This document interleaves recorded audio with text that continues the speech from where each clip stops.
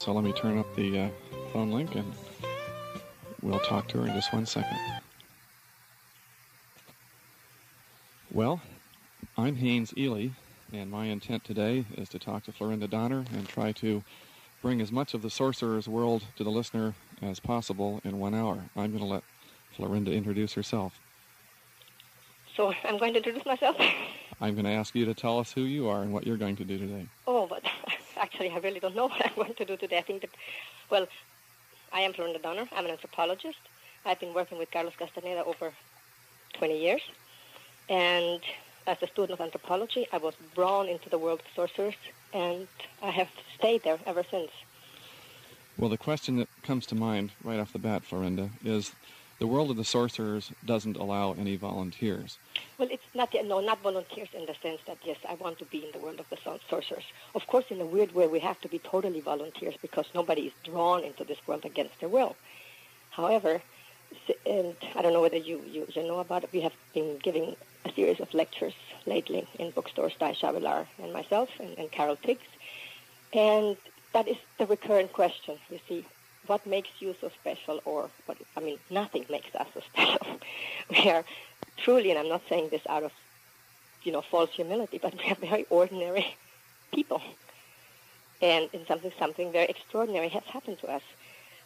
The, the, the idea of this idea, okay, that there are no volunteers in the sense is this world is an extremely arduous and solitary world. What we have noticed as we have been talking to different groups of people is most, I'm not saying all, but most of the people have are used to having, you know, weekend and workshops and seminars. And they want answers, they want crystal clear answers in the sense, what do I have to do to change my life? Well, to change your life, you have to die practically, in the sense what the sorcerers know as, as leaving the ego, which is a death in itself. In order to accomplish that, it's not that you really die. It, it, it's a lifetime endeavor. You see, we have no clear answers. People want a program. They would like to, okay, step one, two, and three, and then four, five follows. Well, it doesn't, it doesn't work that way at all. It is an extremely difficult proposition to get across that it is, it's, it's a way of life. It's not just something that you do in your free time. Your total life is involved in this body, mind, and spirit, or whatever we want to divide it. So many people want to join the sorcerer's world. So many people, uh, when they heard that you were going to be on the show, started coming to the local bookstore and saying, "Is Florinda or, or Taisha going to come to our town?" Uh, they, they just have a tremendous, tremendous interest in what you do, and yet there's no way the average person could even come close to doing what you do. do. I just returned from Mexico. In fact, I just came about an hour ago. I returned from Mexico. I was there with Carlos Castaneda, and we talked to, to several people. And it, it's always the same thing, you know, what what can we do to to join this world? Well, and, and what why are you so different from the different sorcerers, the different lines, lineage of Naguals? Well, Carlos is, is different in the sense that he has written these books. These books are obviously available to the public. And in the books, and I'm not saying that, you know, the book is enough follow any kind of, of, of, of line.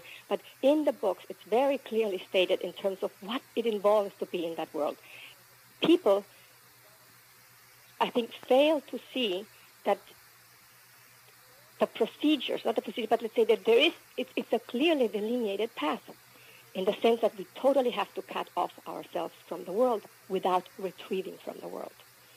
Another point is that when people say, yeah, I want to join the sorcerer's World, I need a teacher, I need a guru. You had that too. Yes, of course we did have it, but it was a very solitary battle. well, it is a very solitary battle. People always talk in terms of, well, there is a group, there is the Castaneda group. Well, there is no group.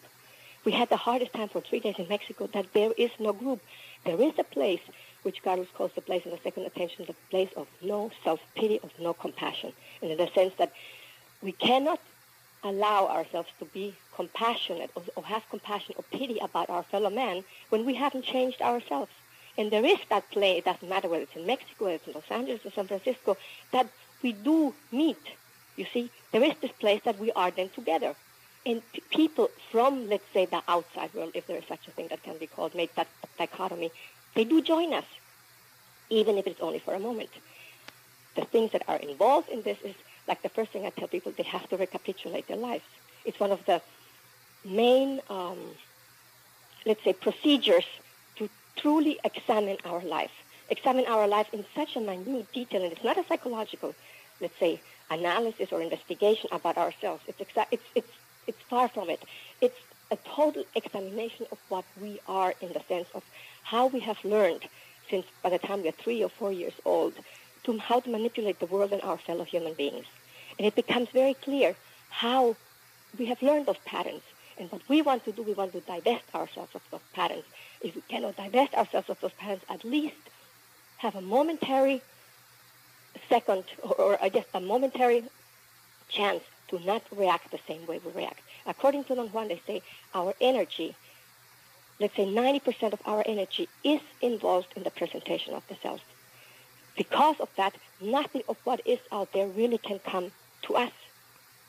We are so filled with how we look to others, how we come across, how either just physically or emotionally, that idea of the presentation of the self takes all our energy, all our endeavor we, we, are it's like we, we are already booked. We are close to anything that come, can come in. Of course, we have glimpses which we immediately discard. Oh well, something happened. I was whatever. Either it's in dreams or in real in the everyday life of of, of, of, of you know of, of, of, being awake. In this recapitulation, um, I have, I think it was in Taisha's book, or maybe Taisha said it, that you have to recapitulate every person that you have ever encountered in your life. The, the, the way you want, I put in Taisha, Taisha's book is basically it is it deals with the recapitulation.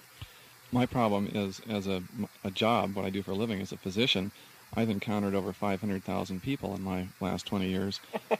I can't recapitulate the people I saw yesterday, let alone uh, the 100,000th person I saw in 1975. You see, instead of saying that, you could say, well, you could certainly make an attempt because, as you say, in the, the kind of job that you have, let's say, I'm sure you have already a, a, a very standard and very well worked out routine of what works in, in your line of work. Indeed. I mean, it, it has to be, otherwise you wouldn't be able to survive. So that, that, that is your public persona. In your, let's say, in your private life, how you deal with your fellow human beings, whether it's with your wife, with your parents, with your with children, I don't know what, what, in terms of how you are engaged in the world. But you see the certain patterns that are recurrent, the way we interact with our fellow men, which is always to protect the ego. We're always trying to protect the ego. If it gets attacked or in any way threatened, we immediately have this, this, this, this, this let's say, this background of, of ways of immediately repairing the damage, which is emotionally it's all right for us, but it's not all right for the body. You see, the body acknowledges those blows. According to Don Juan, he said illness and disease didn't really exist in his world because it is basically, it's not, I don't want to say it's self-inflicted because that, that's going too far, but we do make ourselves sick with stress. And the stress basically comes because our ego cannot deal with the world outside. All of these uh, things that the ego does to maintain itself, its self-importance, yes. are, are, energy drains. Am I not correct? Totally energy drains. So for Don Juan, sorcery was a world of energy. Basically, a sorcerer is interested in visualizing, of seeing, energy, not visualizing, of, of apprehending, of perceiving energy directly. And we're born with that power. We have enough energy when we're born. All of us, no matter what we are, all of us have that inherent. We are perceptors. We are fields of energy. And we squander that energy exactly. by maintaining this self-importance, this self-image. This idea of the self, the idea of our self-image, whatever that, whatever that entails. And we can recapture that energy by recapitulating our lives as best as possible. It, it, there's no guarantee. You see, no, this is just one procedure to at least make us stop for a moment before we want to repeat our habitual behavior in terms of our present, the presentation of the self. Say, it's very clear, for, for, for, uh, let's say, if we are in the world, in a job, somebody insults us and says, look, you didn't really do a good job. You see, emotionally, or let's say psychically, we can say, well, he, the asshole, doesn't know what the hell he's talking about, you know. I really know what I'm doing it, it doesn't really matter. I don't get insulted. But the body acknowledges that blow. You see, especially our energetic body.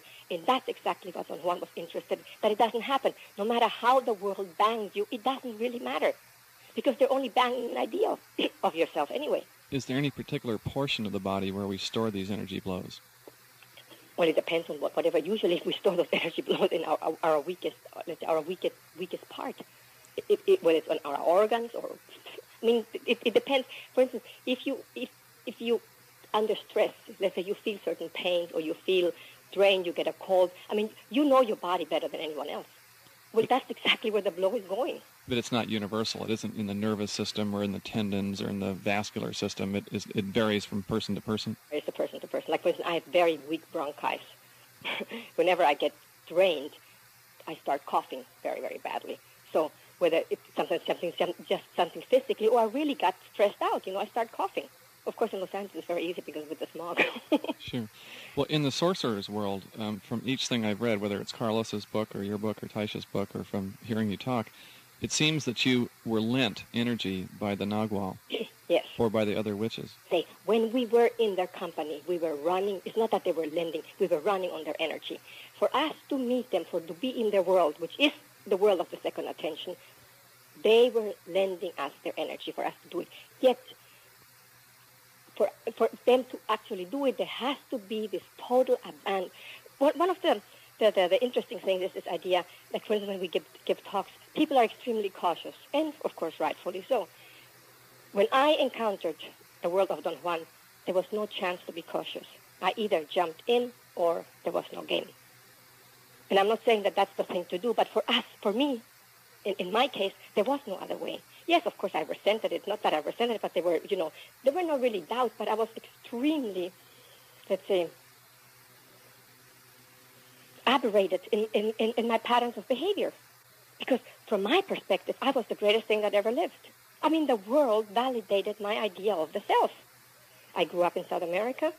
I had advantages just by the mere fact the way I looked. So that and I, you know, children know how to manipulate that extremely well. I was, I was, like for instance, in my, my elementary school from kindergarten until sixth grade, I was in, in Venezuelan schools. I was, there were very few blonde children. I mean, I was treated like a little goddess. And I believed that that was my inherent right. You see, and then of course, as, a, as an adult, we do change, we alter these patterns, but there inherently is this self-importance, you know, I'm the greatest thing that ever lived. There are people in society um, taking the opposite viewpoint who. Yeah, but you see what I'm saying? They're taking the opposite view. I'm, I'm, I'm ex- ex- ex- telling you it in a very exaggerated manner.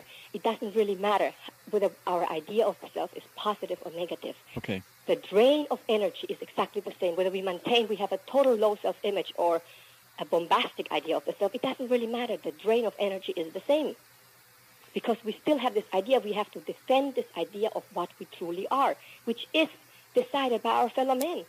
Inherently, there's nothing to really back it up. We know certain things. Yes, we know that we, we are to a degree intelligent. We know how to do certain. Yes, but I'm not talking about this. I'm talking about basically our involvement with the self. This idea that we are all special in one way. We're always special. You see, what Don Juan did with us, he bombarded this idea of being special. He said, if you're all specials in the world, I mean, the world can function, which is absolutely true. That's why we have, let's say, from an yes, from a basic human point of view, we don't really know how to interact with each other because we're each each one of us always defending something how can we stop this? I mean, we can re- recapitulate, but I've, in my own life, let me just give an example because I'm sure this would be for everybody else. Um, recapitulation takes time, and uh, it seems like the sorcerer's world is a world of people who have lots of free time. They have nothing better to do. That nothing's calling on them to do something else. They can go off and dream for nine days, or disappear from the world for ten years, or whatever they want. But the average person with a job, a family, uh, I, I, totally agree with you. Tries to recapitulate, and they might get a half hour's worth in if they're lucky, and they might uh, take two lifetimes at that rate to recapitulate anything. But precisely, but like for instance, look, I've been in the sorcerer's world. I mean, I don't, I don't want to even mention it's way over 20 years. Okay, that, that is the lifetime. The thing is, my lifetime has been spent in following that path. I have made that decision. To that's all I do.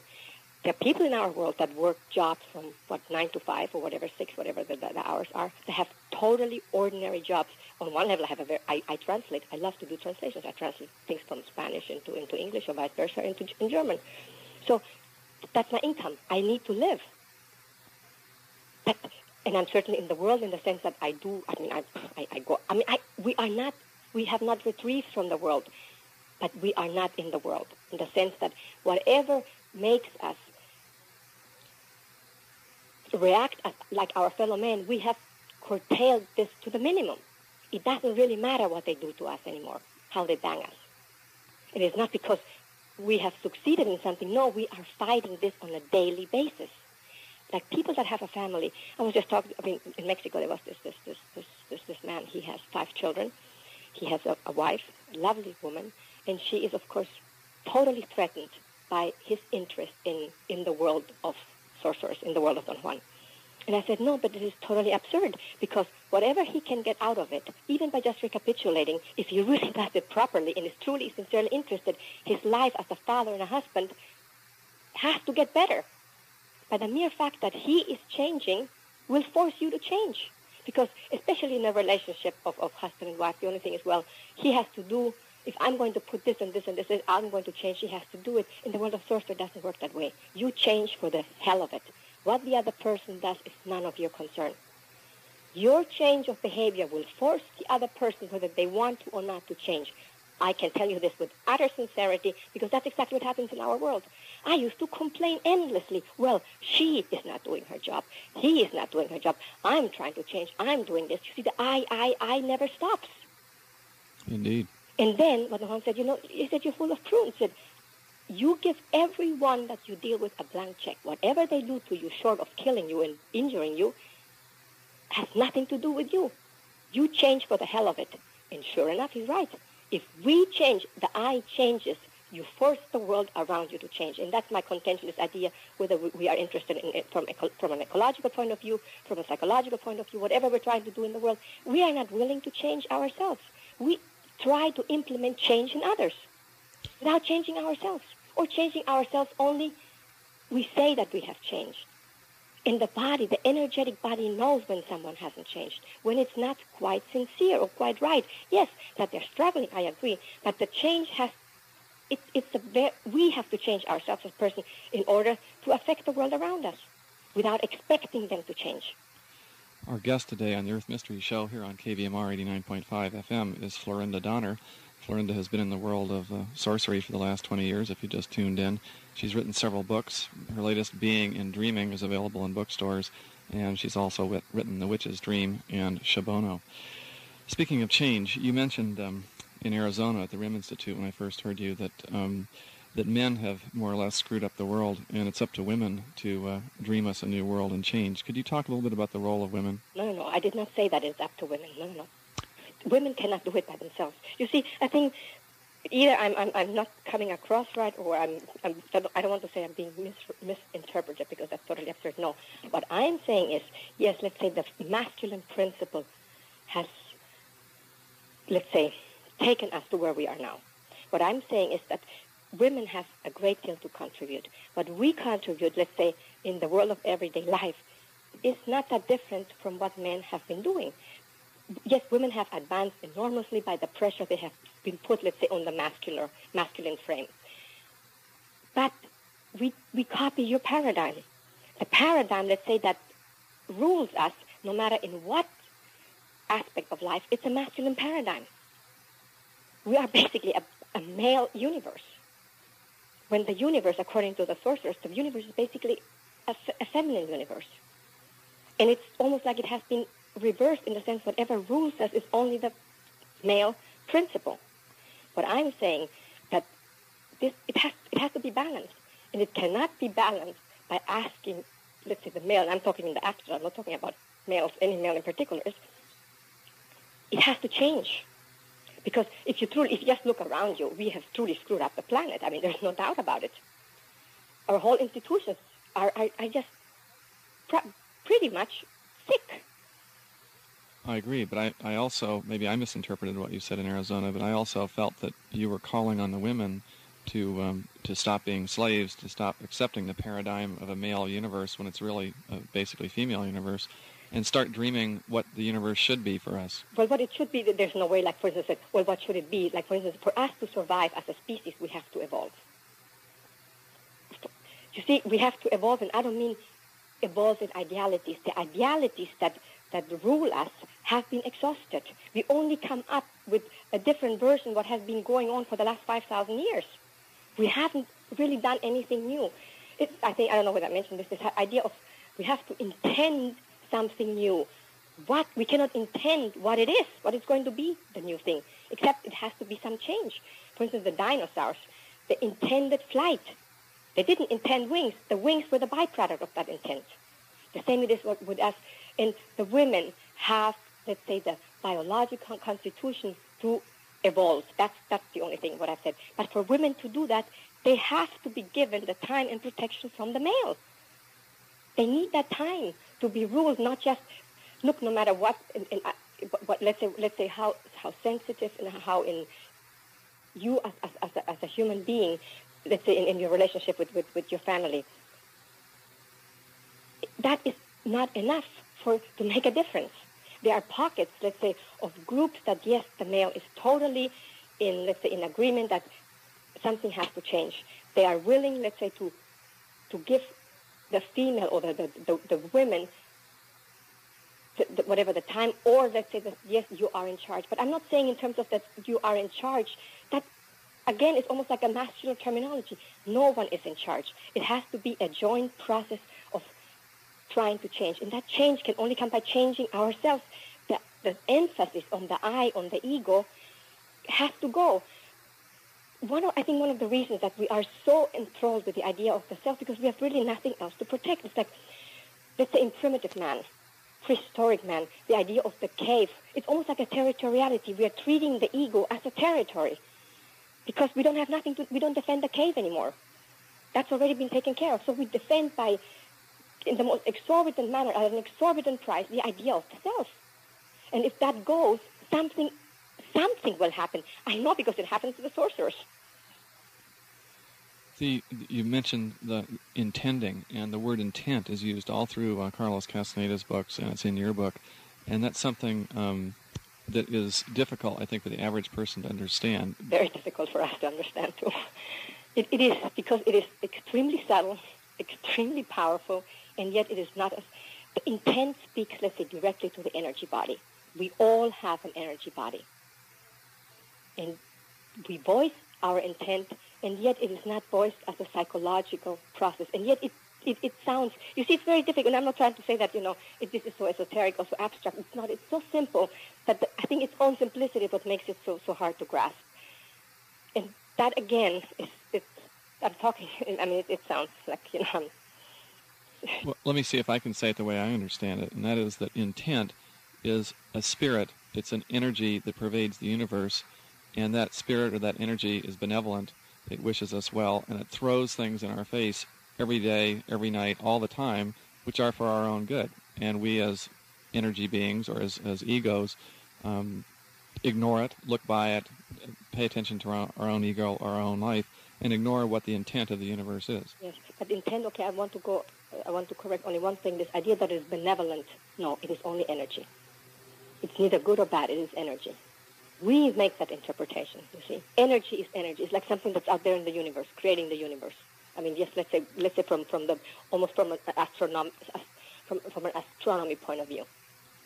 I use the word benevolent just because so many people are afraid of the word sorcery. They assume sorcery has something to do with evil. Sorcery, of course, carries a horrendous load of what, when the New World was discovered by the Spaniards, you had totally, was a Catholic view which the idea of good and evil is so prevalent that it was impossible for them to understand any, anything else. So that, that whatever was destroyed in terms of a system of knowledge was so gigantic. You know, like for instance in Yucatan, you know, you have of course you you, you know about the, all the, the, the Spanish, like the, the, the clergy, the Sahagún and, and Diego de Landa, and whatever they have done in the New World was so gigantically negative in the sense they burned, to the Mayas in the Yucatan, they had, a lib- had libraries that Diego de Landa burned. It took four months of daily burning to, to burn all the manuscripts. I mean, that's inconceivable in terms of the kind of knowledge that was lost. That had nothing to do with our Western point of view. Well, there are um, there are still people like uh, you and uh, your your party who try and preserve small bits of this knowledge and who write books and bring some of this knowledge back to us. But there are, obviously, as you said, four months worth of books that were burned that nobody's going to ever see again. Okay.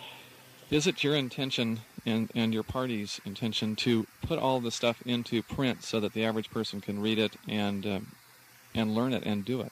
No, our intent is that the reading is basically, I mean, our whatever we have written is extremely personal in the sense that is exactly what has happened to us. In terms of what we know from the sources of, of the lineage of Don Juan, it's only one line what we know, you see. I am sure there are many other systems of knowledge that is expressed, let's say the terminology, the vocabulary is different, but ultimately the intent is the same.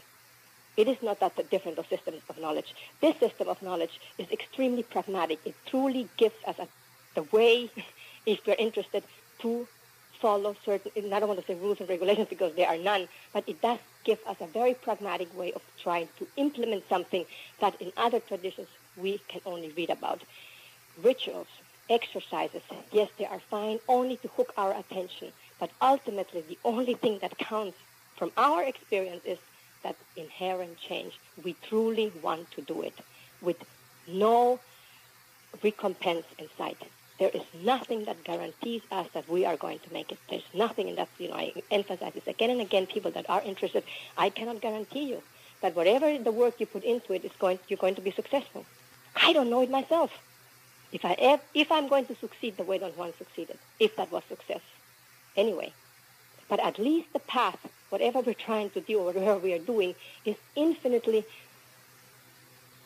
more exciting to us than if I would follow my parents' path. And I'm not criticizing my parents. I love my parents dearly. I'm not criticizing. I'm just, I would like my life to end differently than I know the way their life is going to end.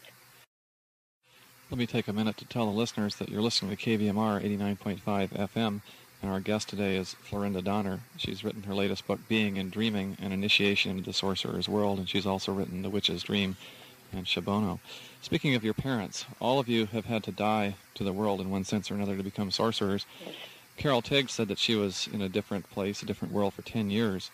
Um, what relation do you have with your past family? Well, with my past family, actually, I think I'm the only one that has any kind of relationship with, with, with the family because of my circumstances.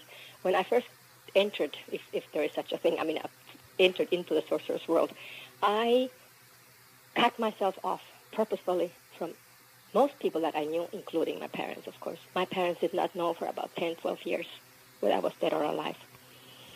Um, it was a very uh, calculated move because from the sorcerer's point of view is for us to change, for us to be able to change, we need to cut off ourselves from the people that know us so well. Because not that they do it maliciously, but they prevent us from changing because they already know what we are. And nothing that we do will make them change their mind. And I'm not talking about in terms of, okay, you're not capable of doing certain things. No, I'm talking about a fundamental change in our energy they're going to reinforce your self-image that they knew that they knew before you changed. And then, and then I remember Florin that one time said, "Look, it doesn't matter. Why don't you just go and see your parents?" And at that time, you know, I had been working. You know, I was doing as an anthropologist. I had actually I was in contact with one brother, and from time to time I would let him. I just wanted to at least reassure assure them that I was not dead. I said I was involved in something that I had to cut myself off. Personally, I had parents that were extremely understanding, and it, let's say from at least from my perspective, it went very well. When I, let's say, reestablished contact with my parents, it was extremely interesting to see that my relationship with my parents was much more loving and understanding than it had been ever been before. Well, you mentioned seeing, and to a sorcerer, or a, a sorcerer being a person who can change his perceptions uh, at will, sorcerers see I gather, the human as a luminous egg of energy fibers, and within that uh, luminous egg, there's a, a, place you call the assembly point where we perceive, and if you should shift that assembly point, you perceive things totally differently. You're in a different world.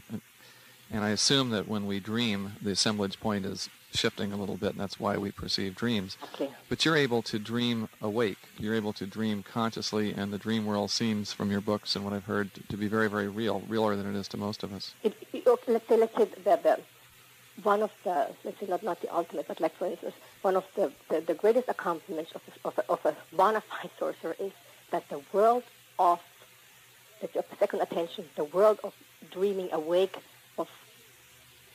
dreaming, uh, as in, in, in, in, Castaneda's latest book, has to do that you want the same control as you have in the world of everyday life you have in the world of dreams. And I'm talking about dreams in the sense that it is like some kind of psychological. Let's say our ordinary dreams are based. You see, Don Juan was never interested in the contents of our dream. He was interested in the control of the assemblage point. As you said, the, the assemblage point moves, shifts naturally. It vibrates in dreams. It it crosses into new energy bands. Thus, new worlds are being let's say, they're not constructed, we enter into other, into different layers of the onion.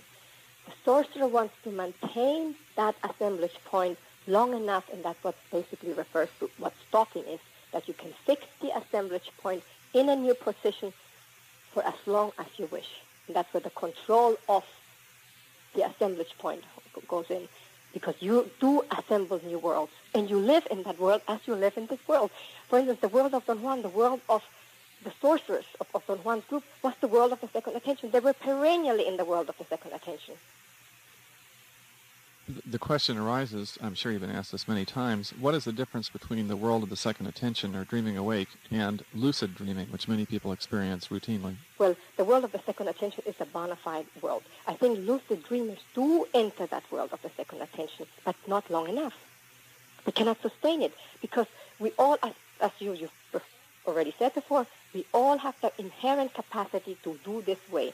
The sorcerer extends that capacity and totally dominates it in the sense that he manipulates that world the way he manipulates the world of everyday life. He is master in the sense of how he enters or exits from that world. Whereas a dreamer, a lucid dreamer, does it, it it's chance. You see, and then whether we are in, in usually it's some kind of psychological trauma would bring us into that world, hunger, drugs, alcohol. I think the emphasis of our societies with, say, the, the, the fixation on drugs is basically that they know that there is something out there that they want.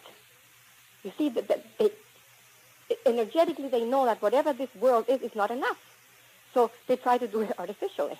And of course, by that they have cut everything off because they can erase the world of everyday life or whatever their concerns with the world of everyday life by either taking a drug or smoking marijuana or hashish. I mean, it's, it's incredible what, what we consume. Now we make it, of course, totally legal, and people are into, you know, pharmaceuticals, legal drugs, you know, which is as deleterious as anything else. To enter the second attention, one has to acquire enough energy. But I mentioned this earlier. You borrowed the energy, or it was given to you by the witches or the sorcerers and the average person doesn't have that benefit. Nobody's going to um, give them an energy boost to the point where they can shift their assemblage point. But the energy boost was also like, let's say, when I encountered the world of Don Juan, it wasn't, of course, I entered their world, but I had to do my part.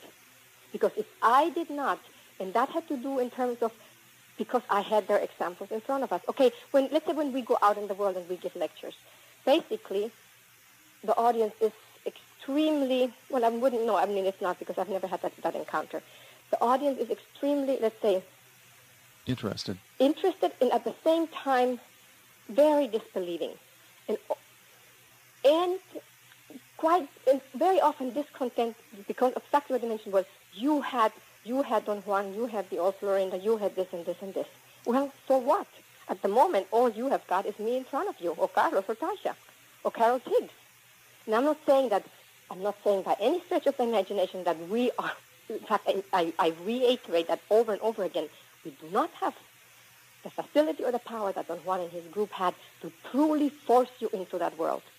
But we certainly are presenting the procedures of doing it because in terms of, yes, we were there with Don Juan, but then we had to do the work. And look, it took us 30 years to do what we're trying to do, or at least ourselves coherent enough and present something to the world. And I think that's again the difference between males and females. The male talks about this. Pro- look, look. Carlos Castaneda's books are a witness to that. He talked about the process from the very beginning. It was the well, the, the three of us, the women, after living in this world for over 20 years, we can finally can talk about the process because we have totally embodied it.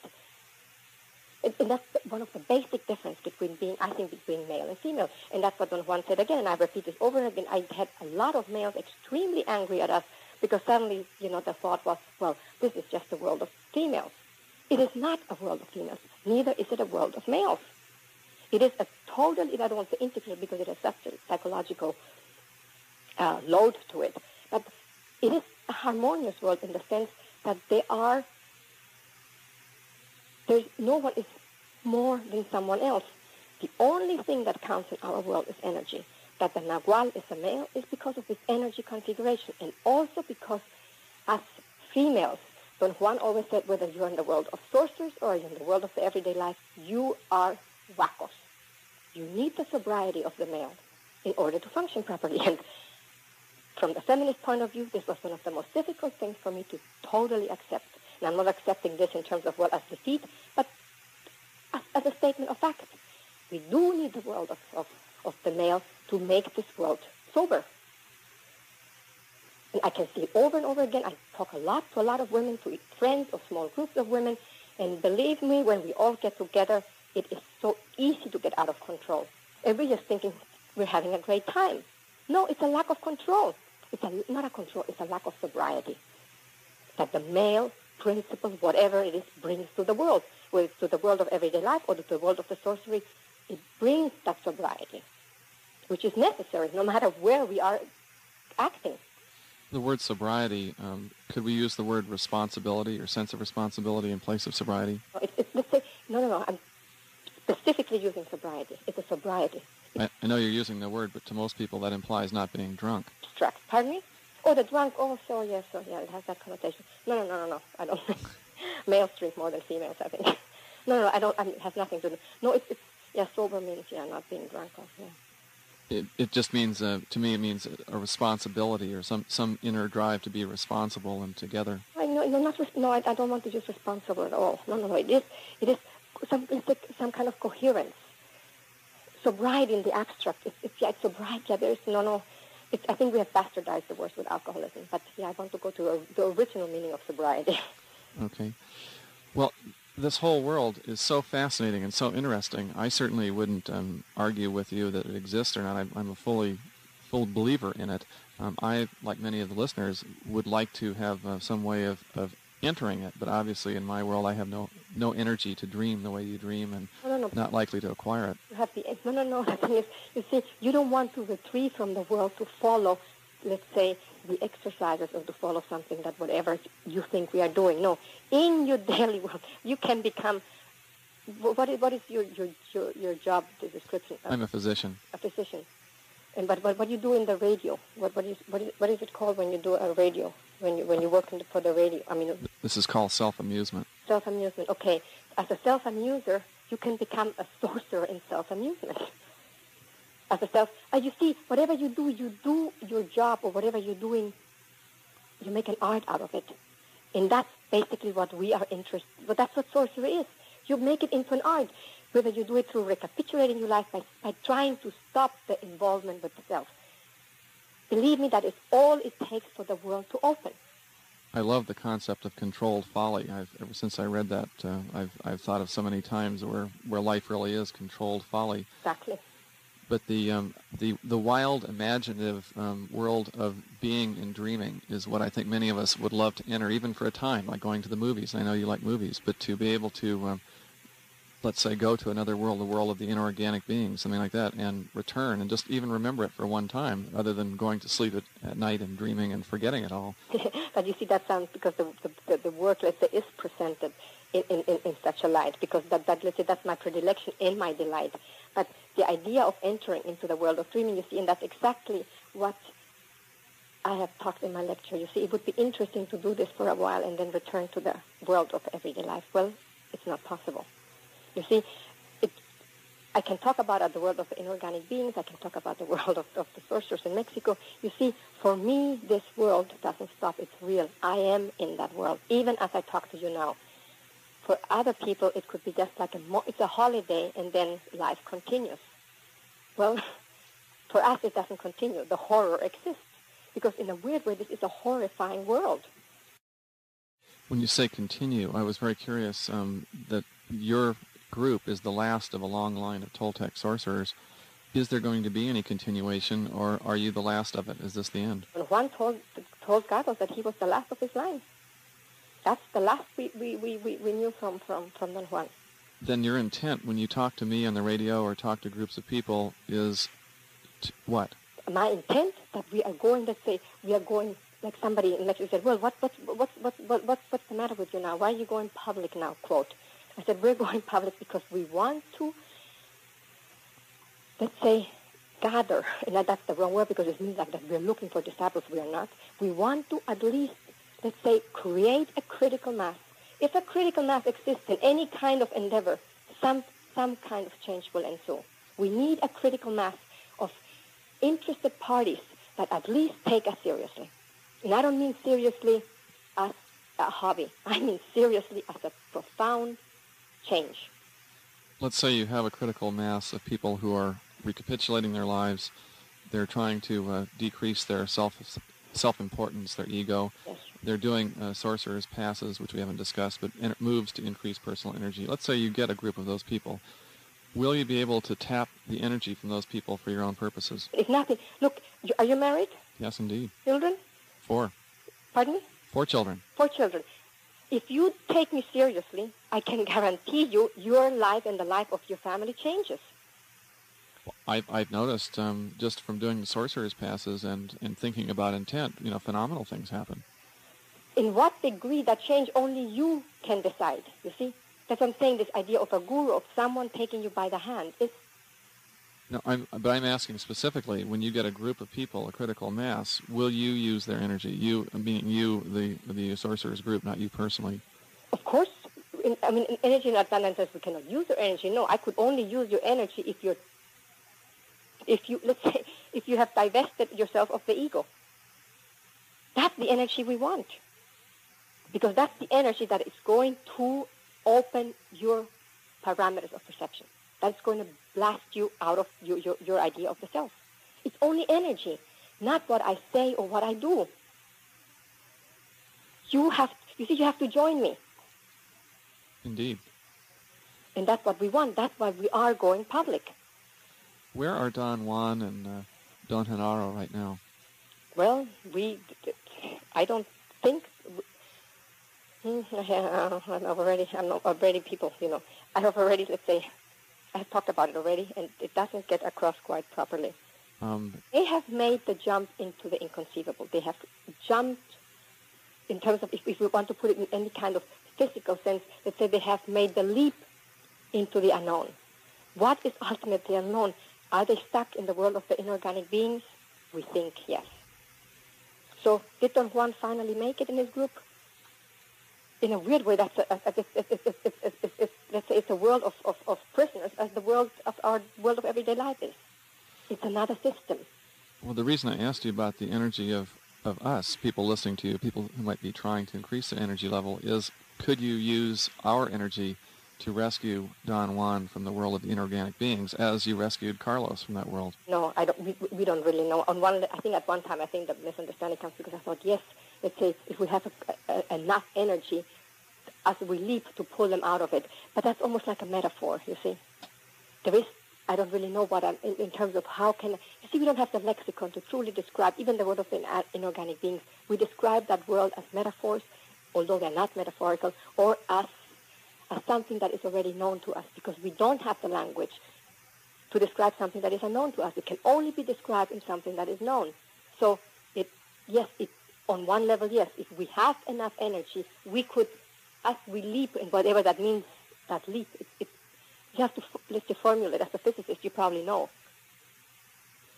What I'm thinking is that um, that, as I mentioned earlier in this talk or the interview, that intent throws itself at us all the time in unknown ways. This is a camouflage universe. It's a universe of energy, but it's camouflaged as whatever we perceive it as. But every once in a while, there there are cracks in the screen. There's a tear in the screen that lets us know that this this camouflage isn't really real. Yes, precisely. And those those bits of intent or bits of energy or whatever you want to call it in the dream world would you would call them scouts Yes. that if you can hook onto that scout it will take you to another world to the world where that scout is coming from Um, precisely. how can the average person just listening to this talk on the radio right now how can that person see feel perceive when an event is something that intent is throwing in their face to hook onto and not let it slip by but- but You need energy for that. You see, if that's what I'm saying. If you are divested of the idea of the self, that's you know, like just just yesterday I was talking to those people in Mexico. Exactly, I mean, almost word by word, exactly the same question. And I said, well, that's premature. That you see, they're all interested in the world, you know, get, jumping into the second attention, meeting the inorganic beings. But it's absurd to talk about that stage if they have not divested themselves of their idea of the self. You see, that's what I'm talking. The most important step for us is this idea of losing self-importance, of reducing that ego to nothing. We're never going to lose it all, although it is possible. As, from my perspective, Castaneda is totally egoless. He's so empty that it's scary to be with him. It is frightening. I can understand. At the same time, it's the most addictive, let's say, substance there is. A person that has no ego. It, it, it's a total addiction. Isn't human life, the ego in human life, the addiction that we're all addicted to? Yes, ultimately, yes. I think so. You're listening. I mean, the listeners that are listening to this stuff are um, are very sophisticated. They've heard lots of stuff, and you said the same question comes up to you all the time. And hopefully, this talk, this interview, has been trying to give you the questions that you hear every time because that's what interests all of us and that's what everybody wants to know. And it boils down to um, you have to get rid of this self-importance, this ego, which is a lesson from religions all around the world. They all say the same thing. But in practical steps, if I'm understanding the world of sorcery, the way we go, go about doing that is to recapitulate our lives, exactly. go through everything, every event that we can remember, and try and see the patterns that we've been addicted to and recapture the energy from those patterns, then if we have done that successfully, we, ha- we will have enough energy to see intent when it throws itself in our face or to grab hold of one of these scouts in a dream. Precisely. In a dream or in, in our waking life. It happens to us all the time. So Carlos describes in his book, I think it's the cubic centimeter of chance that pops out at the most incredible moments. And if you have the energy to grab it, you, you go for it. For me, even like, for instance, entering, let's say, the world of sorcerers, it was a decision of a millisecond that, yes, I'm going to go with that woman. I'm going to take her with me. I'm going to give her a ride. You see, if I can re, if, if I take the time to re-examine certain moments, crucial moments in my life, I had, let's say, the chances of having done the wrong decision or of taken the wrong path were so innumerable, it scares me to death. Just to think about it, it gives me a headache. Because it is it's such a minute decision. You think at the moment it's nothing, but it's monumental. And that's what I, this idea of, you know, intent, something talks to us directly. And usually we are so concerned with whatever the concerns of the world to, to, to notice. I still, as a human, don't understand how we get rid of the concerns of the world. I mean, if you if you didn't go with that woman, or if let's say let's say in my life, let's say someone came in in one hour and said, "Would you go with me to Mexico? I would like you to start in this new life." I would have every thought in the world of what about my children, what about my wife, what about my employees. It would go on and on. It would never stop talking like that in my head. And yet that chance might be the one chance you're talking about that never comes again. Not, not going to be like this. Why don't you come with me to Mexico? I don't think it has nothing to do with that. For instance, in, in my particular case, it had nothing to do with that. It was a matter of, can you give me a ride to Hermosillo? Or something like that, or, you know, I can put you in contact with someone. It, it, it is not that delineated. Those, those moments don't come like this. Okay, come with me to Mexico. I'm going to introduce you to the world of sorcery. No, it's not going to be, it's never going to come like that. No. The, look, even the idea of it, you, only you have, let's say, the, the power, the facility to truly make something different of yourself and of your life. And no one ultimately is going to help you with that. Don Juan ultimately didn't help us in the sense we had to do it ourselves. And I'm not trying to belittle the, the importance of those people. I'm just trying to, to stress the amount of work and dedication that is involved with something like that. Willpower, sheer willpower, and total abandon. That ultimately you don't give a damn what happens to you, you see? And of course, as a person that is totally alone, with no responsibilities, is a much easier step to take. But you already have your responsibility in front of you. You can make your children's life and your, and your wife's life a work of art. The mere fact that you, now I'm not talking from a moralistic point of view or a religious point of view, I'm talking from an energetic point of view, for you to wish and do everything in your power to make the best for them. I don't, I don't even mean in terms of giving them the life they're accustomed to. No, I mean from an energetic point of view, that in itself is so liberating, it will flip you into another universe. You see, the idea of that there is another universe is right next to us. It's a matter of perception. Has nothing that suddenly you will be taking into the world of the inorganic beings. You will be taking into the second attention. I live in the second attention as I talk to you. It's the prism. The way I'm looking through the world has been changed through energy. Well, I'm hoping that you will accept an invitation to come to our area. There was so much excitement about uh, you being on the radio today that I know that um, if we could get you to come to Nevada City, there would be even more excitement in person for people to be able to talk to you as we've talked today. Are you in Nevada City? Yes. Where is Nevada City? Um, it's northeast of Sacramento toward Lake Tahoe off Route 80. But for a moment I was in, talking into the state of Nevada. No, Nevada City's in California, and your your friend Randy lives up here or is up here. Whether you know Randy Fuller? He called me this morning. Oh, he called you. Yeah, he called. He left a me- message in my machine. So, and I know he has invited you, so I'm going to invite you for the sake of our radio audience and for myself to come here. Yeah, I definitely know. We, we, I think we will come as we came to the RIM Institute. We'd be very happy to set it up for you. Have and have a weekend a, a weekend session, and we go definitely into them. I want to bring the Chacmools. There are two big Chacmools and two little Chacmools, and we definitely want to blast the hell out of you. Well, no, I mean it because I'm going to take that as a promise. it is a promise. Thank you. Thank you, Florinda, it's been so nice having you on the air, and um, we feel honored. Thank you again. and I hope we'll see us